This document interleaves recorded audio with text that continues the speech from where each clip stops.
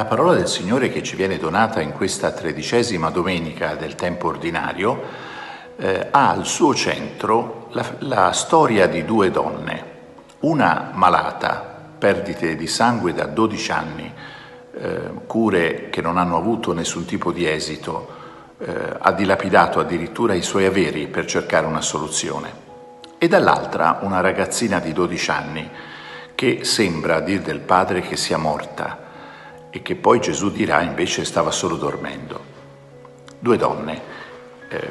accomunate da una, una grave situazione della loro esistenza, una che la sta conducendo non soltanto a una morte fisica, ma in qualche modo anche sociale, quasi religiosa anche, perché, perché in fondo chi aveva problemi di quel genere era destinata a essere isolata anche, a non avere la possibilità di avere relazioni ordinarie con le persone, perché chi entrava in contatto con una donna del genere era considerato impuro. E questa donna cerca invece, con un coraggio notevole, di farsi largo fra la folla, quasi sgomitando, si direbbe, per toccare almeno il lembo del mantello di questo Gesù, che tutti sentono essere il portatore di qualcosa di nuovo. Anche lei cercava qualcosa di nuovo e di importante per la sua vita, decisivo, laddove nessuno aveva potuto fare qualcosa per lei. E Gesù eh, si accorge in quella confusione, in quel momento caotico che, in cui sta vivendo, sente questo tocco, sente questa vicinanza di questa donna, che non cercava certamente soltanto un maestro o una persona dalla grande dottrine, ma cercava soprattutto un contatto che portasse vita, che portasse in lei quella guarigione che gli permettesse di ritornare a riprendere il suo cammino con dignità. Gesù sente questo bisogno e sente questo tocco e vuole, vuole conoscere, vuole vedere, vuole incontrare il volto di questa donna, a cui alla fine dice vai, la invita ad andare, la incoraggia. Salvata dalla sua fede, guarita dalla sua fede, adesso deve andare, deve riprendere il suo cammino, ridonata la sua dignità. Lo stesso anche per la fanciulla di 12 anni, anche lei è creduta morta. Gesù anche qui si avvicina a questa eh, ragazzina e vuole che vadano via tutti, c'è confusione intorno a lei, disperazione, tutti ormai a decretare una vita stroncata. Eppure Gesù caccia via tutti e dice, peraltro suscitando l'ilarità, che, che questa bambina stava dormendo.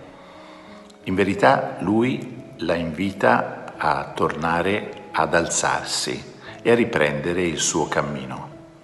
A lei bisogna dare da mangiare perché? Perché la sua è una vita che deve riprendere con pienezza e normalità. Ecco in fondo allora ci troviamo di fronte a una parola in cui il Signore è protagonista, perché nella vita di queste due donne davvero interviene con la sua forza, con la sua virtù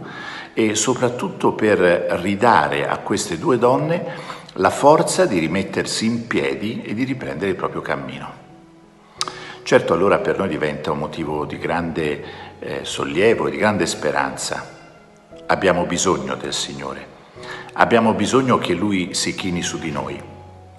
Abbiamo bisogno che Lui tocchi la nostra vita o che noi possiamo toccarlo perché la nostra vita abbia qualcosa di, di nuovo, di, di qualcosa che sani, che guarisca le nostre ferite.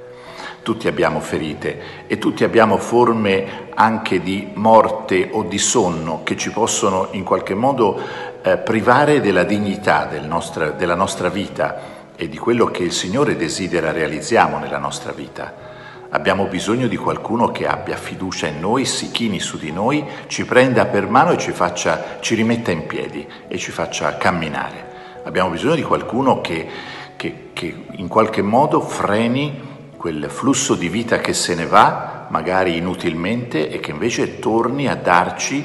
il senso pieno del nostro cammino. Ecco, Gesù è davvero per noi la speranza, che per tutte le volte in cui ci sentiamo morti o che sentiamo in qualche modo la vita andarsene quasi inutilmente, per tutte le volte in cui forse anche in una forma di sonno eh, noi viviamo eh, quasi ripiegati su noi stessi,